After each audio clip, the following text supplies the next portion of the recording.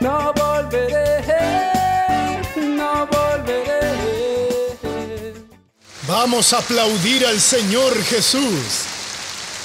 Para ustedes que ahora están cambiando de canal y están viendo el inicio de este programa, quiero invitarlos a que sigan viéndonos. Hoy nosotros vamos a ver una advertencia seria, que nuestro Dios, una advertencia muy seria que nuestro Dios nos da, sobre cómo convivir y aceptar la compañía de la persona que es malvada, que no respeta la palabra de Dios. Es un gran perjuicio para nosotros y después pagamos una cuenta de algo que no hicimos, pero como bobos tontos participamos. Claro que si alguien de su familia es malvado, no lo va a expulsar de su casa, pero tiene que orar para que cambie su comportamiento. No puede aceptar el comportamiento malvado, pero a veces nosotros despreciamos la palabra de Dios por una amistad o por otro eh, motivo. Y después la cuenta nos viene muy alta y mucha gente está pagando una cuenta grande. En el libro de Proverbios capítulo 18, el Espíritu Santo, que es el autor de la Biblia, nos hace una advertencia muy seria y que debe ser tomado en serio. El que no la toma en serio, el gran día rendirá cuentas a Dios por la falta de respeto que tuvo, con la santa advertencia del Señor además del perjuicio que le causa desde el momento en el que acepta a un malvado en su vida. Voy a leer los tres primeros versículos para que después entendamos. Su propio deseo busca el que se aparta y se entremete en todo negocio. No se complace el necio en la inteligencia, sino en manifestar su propia opinión. Con el malvado viene también el menosprecio, y con el que deshonra la afrenta. Vamos a entender lo que Dios está diciendo aquí. Nosotros siempre aplicamos este versículo. Eh, cuando un predicador decide dividir su iglesia, fue puesto ahí para cuidar el rebaño del Señor. Y el enemigo es más o menos como, digamos, una señora que tiene varios hijos y ella recibe la orientación de Dios y cuida a sus hijos. Incluso su esposo la alaba, el esposo de la iglesia es Jesús. Podemos realizar esa comparación. Pero la mujer empieza a oír otras voces, deja su casa y se va a otra casa, donde tendrá la compañía de otro esposo. Después invita a sus hijos a que se vayan con ella. Allí ella cuidará a nuevos hijos. Pero dijo Jesús que el que nace de la carne, carne es, y del espíritu, espíritu es. Y un día estará ante el Señor Dios y él le reclamará. Pero dije en mi palabra que dejaría el hombre a su padre y a su madre y se uniría a su mujer. Y nadie debería separarlos porque serían una sola carne. A veces los pastores hacen eso y se apartan. Pero dice Dios que el que se aparta solo hace algo, busca su propio deseo, no busca otro. Y lo peor es que se entremete en todo, en todo negocio. Dios tenía un plan para aquella congregación, actuó en el corazón de las personas durante años, fue salvando y salvándolas y las puso allí, para que el pastor produjera, con la ayuda del Señor, el crecimiento de aquella congregación de, aquellas ovejas. Pero otras cosas le llamaron más la atención. La ama de casa piensa, aquí estoy limitada, mientras allá él me dijo que me dará un nuevo coche y otras cosas más. Por eso me voy a vivir allá. Eso es algo feo. Pero sucede. En el versículo 2 dice que no se complace el necio en la inteligencia. Cuando la persona recibe el espíritu de la necedad, de necio realmente, empieza a ver cosas que no debería ver. Digamos que un pastor está en una ciudad paupérrima. Me gustaría ser pastor de una gran iglesia en San Pablo. Quería ser un pastor famoso y no estar aquí cuidándolas a estas ovejas, pero si Dios lo puso ahí, gloria a Dios. Esas personas son dignas de que Él se consagre para alimentarlas. Si Dios lo manda a una gran ciudad u otra que sea más pobre, gloria a Dios. ¿Dónde lo pone Dios? Ahí debe estar el siervo del Señor. Pero el necio no se complace en la inteligencia. No ve que todo es un plan de Dios. Que el Señor Dios actuó en mi corazón, en el suyo, en el corazón de otros, hace muchos años. Actuó y de pronto el pastor empieza a creer que es el mejor porque modestia aparte. Soy, soy el mejor, me están despreciando, pero cuéntele todo al Señor Dios pero no se complace. ¿Y en qué se complace? En manifestar su propia opinión. Entonces él desea mostrar su opinión, empieza a reclamarle a las personas, a inventar historias y va contaminando a otras personas y así manifiesta su opinión. Manifiesta exactamente lo que desea. Versículo 3. Con el malvado el que desprecia la palabra de Dios, si él se le aproxima a usted, viene también el menosprecio. A este punto quería llegar para hablar sobre él. En el momento en el que una persona menosprecia la verdadera sabiduría de Dios, acepta la impiedad y alguien se une a ella, en aquel momento viene el menosprecio. Dios ya no irá a sus oraciones. Dios ya no la va a usar a esa persona para edificar a otras. Y todo lo que dice es vanidad, cosas que no tienen valor. Inventa una cosa, inventa otra allí. Empieza a vestirse diferente, se pone ropas para poder impresionar, hace un show pirotécnico, algo como en Hollywood, pero no hay nada de Dios en eso. Quien la ve, si es una persona de Dios, incluso se enoja con el alimento que está recibiendo. Entonces Dios nos está mostrando que si usted lo recibe al malvado, abraza al malvado, lo apoya, le dice, estoy contigo, soy tu hermano, Dios ya lo menosprecia a usted. A partir de ese momento su oración ya no pasa del techo. Eso es todo lo que quiere el diablo. Porque sabe el diablo que cuando sucede eso, él puede traer sus, sus males, sus trampas y lograr sacar provecho y mucho, porque esa persona ya no tiene protección.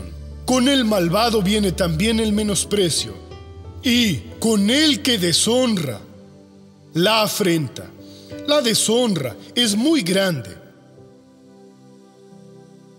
Es cuando una persona pierde completamente el contacto con Dios.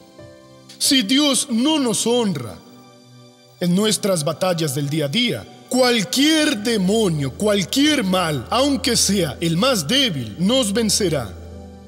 Cualquier tentación necia del infierno nos corrompe y nosotros vamos tras la lujuria, la lascivia, la mentira, la deshonestidad y otras cosas, porque a fin de cuentas también es mi oportunidad, tengo que aprovechar y así por delante.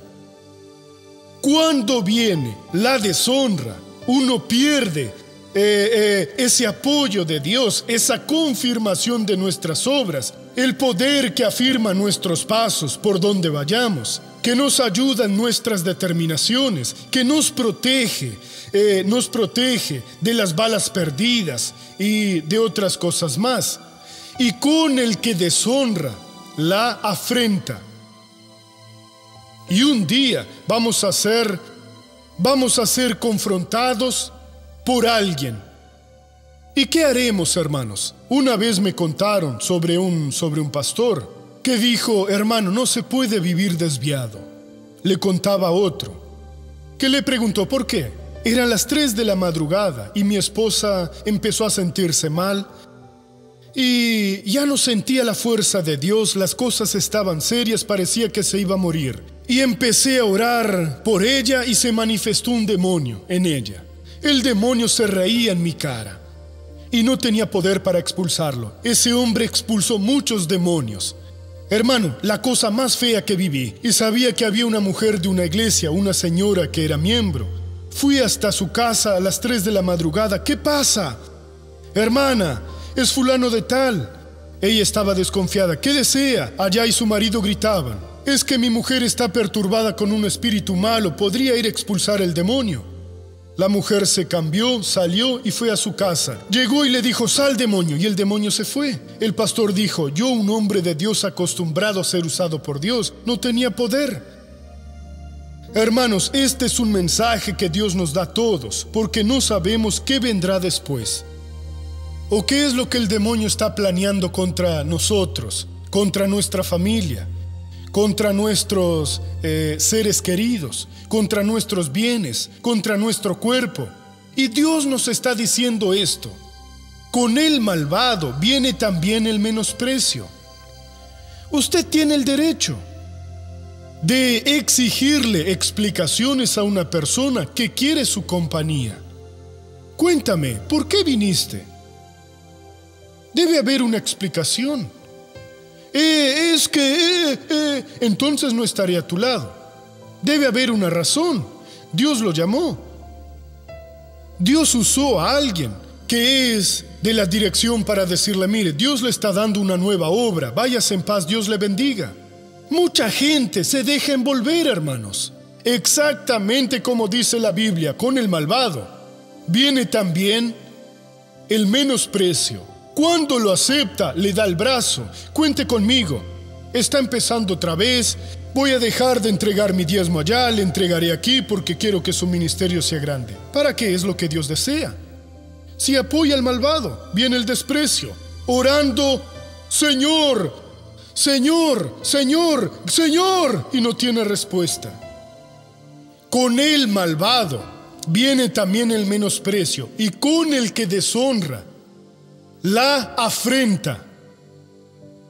En el momento en el que uno desprecia a Dios, viene la deshonra. Deja de ser honrado. ¿Y qué viene? Viene la afrenta. Entonces, como ya lo dije, cualquier demonio, aunque sea el más tonto o bobo, le va a engañar a usted. ¿Qué le está diciendo Dios a usted? Que siga firme en la palabra. No se fije en los hombres, fíjese en la dirección que Dios le da, crea, porque el que cree la palabra tiene honra, tiene al Señor Dios a su lado para decir, no toquéis a mis ungidos, para confirmar la palabra de su profeta. Creed a sus profetas y seréis prosperados. El que cree y verdaderamente sirve a Dios no pasa por la deshonra, solo tiene más honra. Entra la gran congregación y dice, Dios, hoy quiero reconciliarme contigo. Si tiene pecados, le pide perdón, se afirma, Señor, abro mi corazón, tengo esta propuesta, tengo aquella bendición, Dios, quiero poder. Y Dios viene y honra a esa persona y le dice, Señor, muchas gracias. Tiene determinación y no tiene vergüenza, tiene alabanza, tiene satisfacción. A su familia le va bien, todos alaban a Dios. Dios desea que cada día sus hijos estén mejor, porque dice la Biblia que Dios nos lleva siempre en triunfo. Si usted no está siendo llevado en triunfo, está siendo guiado por el hombre, por la religión o por cualquier cosa, menos por el Espíritu de Dios que nos guía por la palabra, nos conduce por la palabra. ¿Para qué? Para que andemos en triunfo. Amén. Vamos ahora a la novela de la vida real.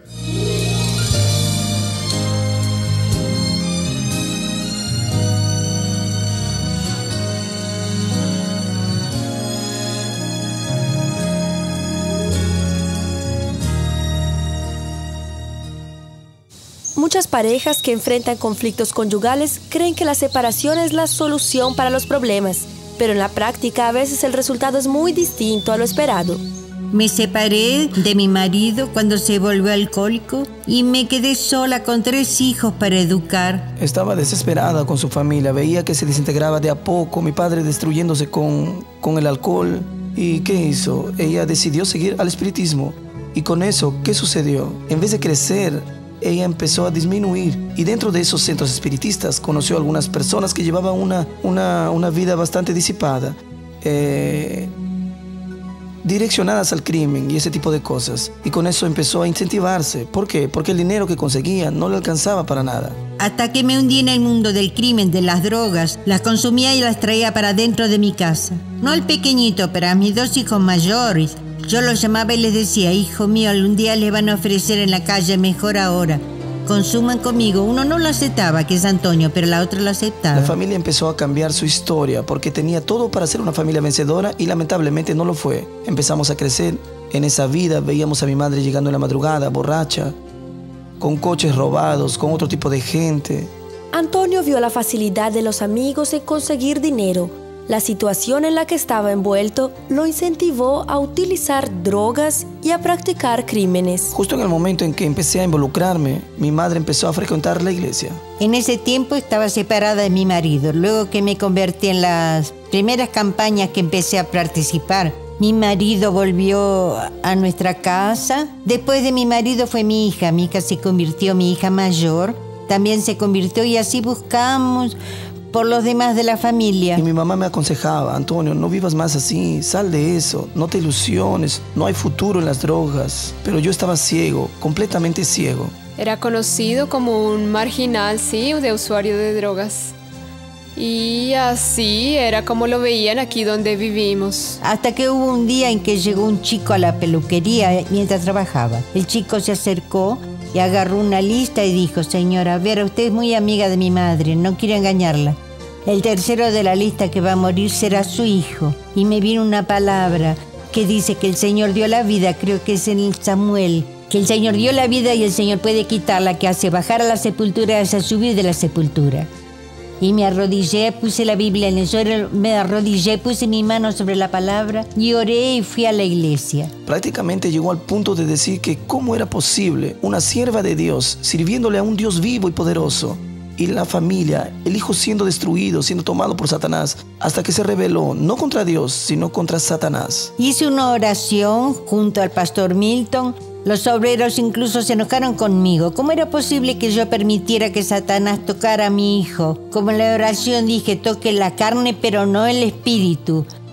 Y dijo el pastor Misto, déjenla si esa es su fe, oremos junto a ella de acuerdo a su fe. Mataron a las dos personas que matarían, las mataron. Y después empezó a ir a la iglesia cuando mataron al último. Cuando yo llegaba de la iglesia vino corriendo hacia mí. Mamá, mamá, mataron a Adriano que era el último hombre. Entonces le dije, bueno, ahora es entre tú y Jesús o le entregas a la vida a Jesús o a Satanás. Y entró el coche junto a mí, fuimos a la iglesia, conversó con el pastor. Fue el momento en que Dios tocó en mi corazón, que vi que no tenía hacia dónde ir. O me entregaba a Jesús, o empezaría a matar, o muy pronto moriría. Le dije, yo quiero ese cambio. Y desde entonces sigue firme y hasta hoy está firme con Jesús. Esa palabra que Dios me ha dado empezó a cumplirse.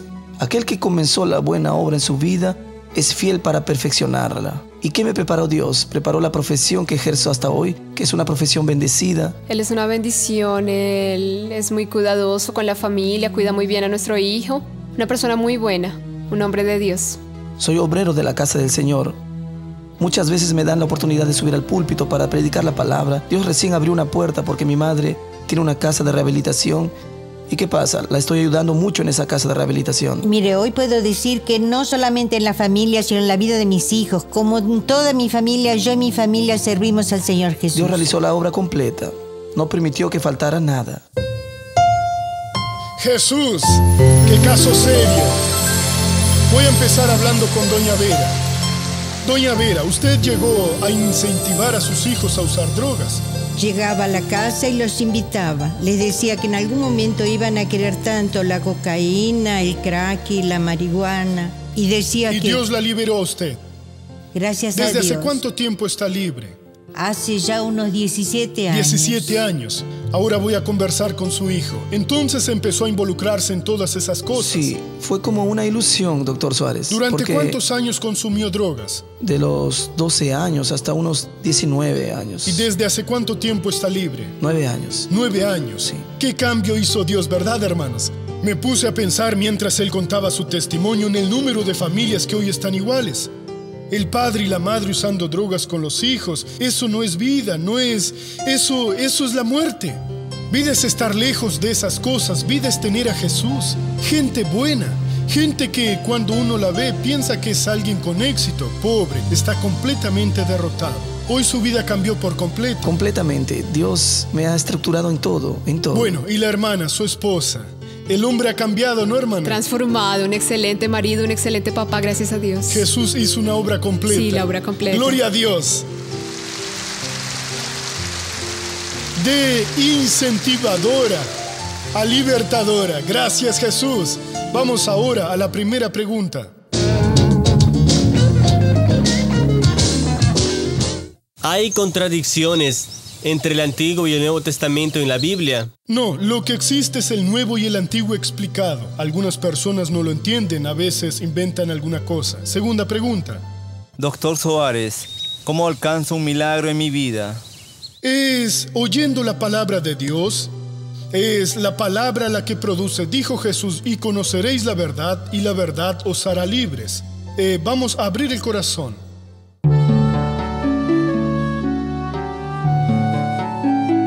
Estoy casada hace 48 años, aunque últimamente ha sido de mucha angustia. Mi marido es evangélico, pero me ha causado infelicidad y motivos para desconfiar. Entra y sale de la casa cuando quiere y no me da explicaciones. Todo está mal en mi vida y tampoco las personas que me ayudan en los quehaceres domésticos me respetan. Además, mi estado de salud está muy debilitado y no me recupero. Doctor Suárez, ¿qué debo hacer? Hermana, dos cosas. La primera es hablar con Dios, pero también debe tener una charla con su esposo. Supongamos que se le metió en la cabeza que usted le fue infiel. Y en una charla frente a frente, muchas personas actúan así porque piensan eso. Si le hizo, tiene que confesarlo. Contarle detalle a detalle es su obligación. Cuando se casaron le preguntaron, ¿acepta? Sí, empeño su palabra. Si lo hizo, confiese, pero si no hubo traición, entonces él debe saber que no lo traicionó. Escucha, dime la verdad, ¿crees que, que te traicioné? Vamos a hablar. Y después de que, que él se convenza, bueno, tengo un problema. Voy a orar por ti para que Dios lo solucione, porque es triste lo que está sucediendo. Ahora, primero, ore a Dios y tome una decisión. Déjeme orar por los que están en casa y necesitan liberación. Padre, necesitamos la ayuda de liberación. Dios, la persona que está abrazando al malvado va a entrar al proceso de la deshonra. Oh Dios mío, eso no es bueno, porque vendrá la afrenta.